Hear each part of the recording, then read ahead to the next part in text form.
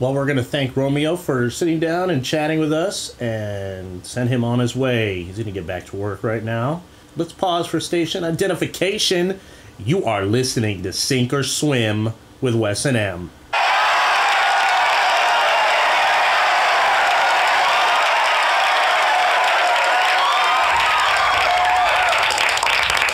Okay, and we're back. Uh, how was your trip, Marin? Drivable? I just started. A I, drivable trip? a drivable trip. I just like there were roads and everything? Yeah. Well, no, because I just I just started driving. Like yesterday was the first time I actually, or, or the day before. No, yesterday I think was the first day I actually got out and uh, I, I drove my truck. So um, and it's a stick. So the the you know the clutch and everything. So it's it's you know, but I'm I'm getting used to it. I think I was I actually walked yesterday a little bit and. uh I woke up this morning. and I felt like I'd done like a thousand sit-ups because my natural, my like my natural instinct, dude, is to just go. You know, I just want to go Yeah. and I can't do that. This is one of those times where I have to, I literally have to restrict myself to what, to what I'm doing, you know, and not go with what I feel. But hopefully, at the end of six weeks, I'll be back to my to my A game, you know. You'll be all right. You're on Yeah. your way. Cause I'm a survivor. Well, um, I've come up with a few uh, little game ideas, and Marin has two, so we'll probably be working them into the show. One idea I came up with called Say My Name. Say My Name. Marin and I will launch a few facts up into the air, and whoever is in the room can throw out uh, guesses on who they think the person is. It will be just Marin and I today, since. Uh, Since our guest has left to go to work. Our guest is no longer here. It'll be just Marin and I playing against each other, so we'll see if this works. If it doesn't, we're gonna trash it, and nobody will even hear this discussion that we're having. Well, that's a load off of my mind. Fantastic. So, do you want to go first, Marin, or shall I? Yeah, I'll go. I'll go. I'll go ahead and go first. Uh, how do you want to do this? We each read one, or do we? Yeah, let's go. You, me, you. Okay, my uh, this might be a dead giveaway, but I don't think so. My uh, mystery what was it guest or what would we call it? Mystery. Just say I, like you are the person. okay. All right. My birth name was Farrick Osara. Malcolm X. No. I was born September fifth, nineteen forty six, Louis Farrakhan. in Stone Town, Zanzibar, London, England. Jack the Ripper. This might be the giveaway. I died November 24th, 1991, at the age of 45, Kingston, London, England, United Kingdom. November 24th, 1991, my death. My occupation was a musician, a singer, a songwriter, and a record producer. Ronnie James Dio. no. Ozzy Osbourne. No. Come on, that's obvious, man. Uh, I did vocals, I played piano, keyboards, and guitar. Eric Clapton. After I give this one to you, you're gonna, you're, you're gonna fucking know it off the back. I know it already. This is a giveaway. One of my most famous songs was "We Are the Champ." Freddie Mercury. There you go. I had to think of. I had to put other facts out there besides because if I put the obvious ones out there, I mean, he's he's so big, you know. It, it's it's just obvious, you know. It's like I said. The minute I said that, he's like, "Fucking, that's just." It's so simple. So I had to, and like everything I read about him, you know, it's like fucking. The minute I say that, he's gonna know it. You know what I mean? So I had to try and keep it as simple as possible, you know, which is which is the object of the game. I would have gone with I have facial hair that could be likened to such famous people as Tom Selleck, I I, Ned Flanders. I died of I died of AIDS one day after announcing I had AIDS. That's some heavy shit, dude. I would have think I he would have knew- said John Holmes or something. Yeah, but yeah, oh, for him as a musician, really. That's true. I have a 14 inch penis, but it's not mine. Yeah. okay. oh, the other oh, see, like the other things I would probably would have given it to too was uh, well, it says right here, associated acts, Montreal, uh, Cabell, and then Queen, which he's most famous for. Fucking everybody knows him Queen. And uh, a little fun fact: he used to wear uh, he would wear boxing shoes on stage because he he pranced around so much, and the boxing shoes he wore they were like high tops. They supported his ankles a lot better. So that was just a little fun fact. Okay. All right. I am most famous for producing and acting in a show involving Phil Hartman, Laurence Fishburne. My producers assisting me were Rob Zombie and Dweezil Zappa. Musical credits to my show go to artists such as George Clinton and Danny Elf. Wow, that's a lot to process. Phil Hartman. Or the only thing I could, the only show I would think of that's David Hartman would be uh, uh, David Spade. Maybe David Spade News Radio. With out with uh, Fishburne. Fishburne. So that's the guy from The Matrix, right? That's correct. The guy from The Matrix. Oh my God. Rob Zombie. Wow. Um. Yeah, I need more information than that. Are you a musician or an actor or both? Double threat.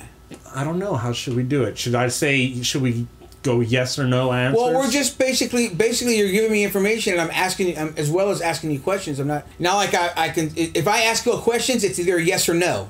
right. You know what I mean? But if you give me the information, then I get I, I, I So I, ask me a yes or no question. Yeah, are you an actor? Yes. Really? Are you a musician as well? No. Okay, so you're an act. Um, was this sitcom in the '90s? Probably late '80s, early '90s. Late '80s, early '90s. Oh my God. Uh, you said Phil Hartman, so that has to do. Maybe someone was, maybe somebody was Saturday Night Live. Chevy Chase. wow. Okay, give me some more information, man. Okay. Benicio del Toro Oh wow. had his film debut in one of my movies. Benicio del Toro has. Wait a minute. Benicio del Toro, his first film, where he played Duke, the dog-faced boy. Wow, that's heavy. I don't fuck, dude. So this this guy produced that movie then, or he was in the movie. Probably a strong on both accounts. Phil Hartman, Bill Murray.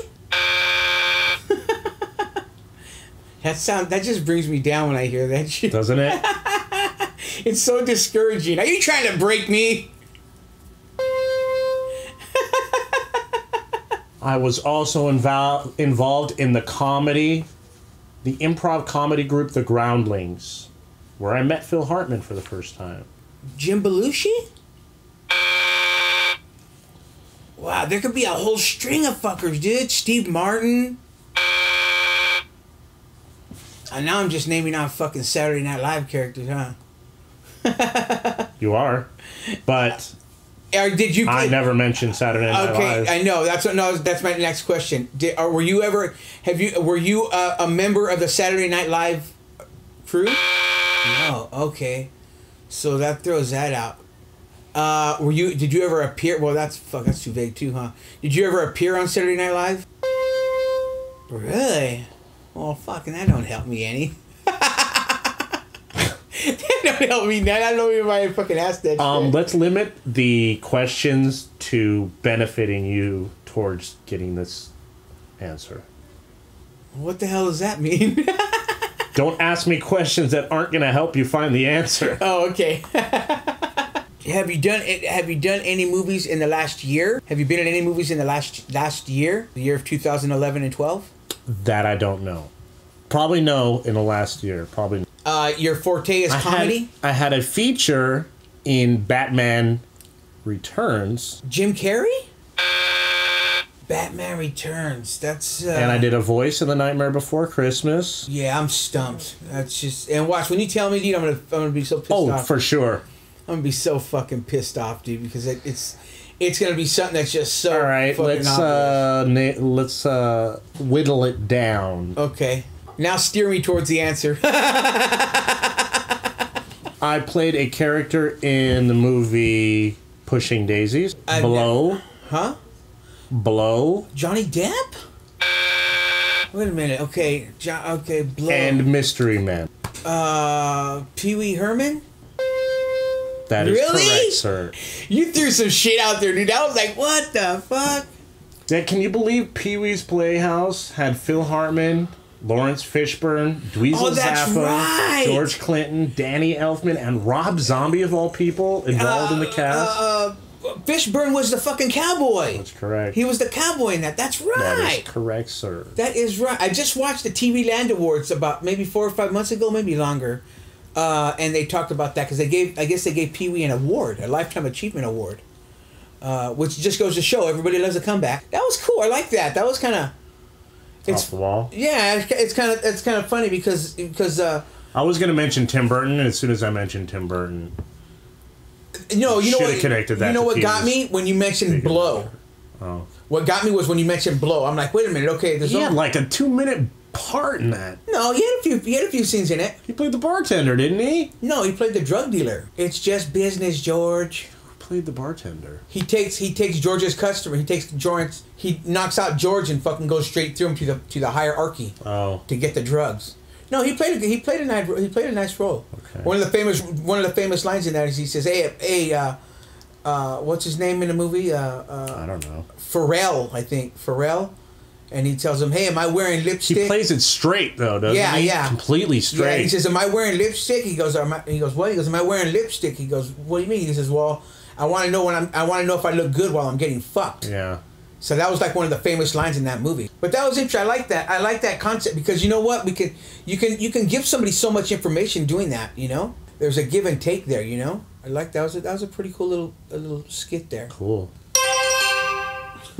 Wow, I, should have I should have got more vague with this. Okay, uh, my first appearance on screen was in April thirtieth, nineteen thirty-eight. I was created by Ben Hardaway. My voice was done by Mel Blanc from nineteen thirty-eight. Are you a fictional character? Yes. Are you an animated character? Yes.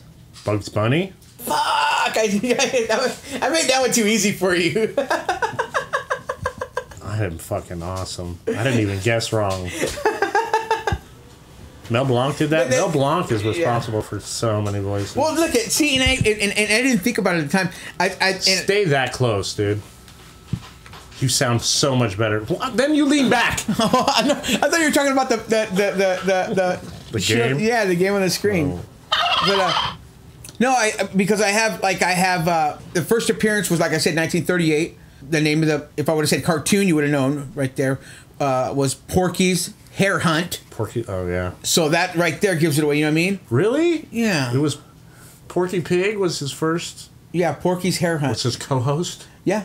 And again, if I would have said his nickname, Bugs, his species, rabbit or hare, I should have got more vague. But you can't really get vague with things like that. You know what I mean? And it had like a, you know, and like, again, I get everything I get off of Wikipedia. And it tells you right there, you know, like some of the sites are good. And then like some of the. some Yeah, of but the facts that go along with No, that, no, it said- are- yeah, that's either, what it says. either really obscure, Right. Like credits that are totally outdated, Right. You know, like Yeah, people it's- I've never heard of. and of, it says that. or it's right up front. Like I like I like fucking carrots. you know what I mean? I spent most of my life running from somebody with a shotgun. I mean, or Mel Blanc was was my voice. You Right. Know? Yeah, yeah, yeah, for sure. Yeah. And again, no one I ever hear it, so who knows? Word. All of a sudden, he was going to hear, and here's the news. Right. But now the news with Murray Flores. No, I think uh, I think it's going all right. yeah. If I'm winning the game, it's gonna stay in. Oh, that, those, that's the rules, huh? Let's- Well, now I'm right, you're wrong. If uh, if it's a landslide against me, I'll probably edit it out. All right. I was born to a 16 year old runaway. wow. My mother could not take proper care of me. I was left with religious family members, Are you a are you, are you, but I did not take to this lifestyle. are you a teen mom? My mother served time in prison for car theft, and I was arrested many occasions for the same crime. For car theft? Really? Wow. Are you an are you uh, again? Are you an actress? So you have to be a singer then. Wow. What the hell? I don't know what I said, but you are following along the, the lines of this is a female I'm talking about. And that would be oh, now you're trying to just trip me up. no, I just told Have you, you- I'm a uh, man. right now. Well, yeah. Now you did. Never mind. Okay. First time in 55 to Rosalie Willis, ended in divorce in 57 while I was in prison. I remarried to Leona Stevens in 1959. This also ended in divorce, and I fathered a child from both relationships. So an actor, you have to be an actor from the '50s then. You're limiting yourself without having, without asking the question. I know. That's why I'm trying to think of the questions that that. that Well, ask. I'm. Well, give me a second, man. you did. You did movies. You didn't do movies. You did sitcoms.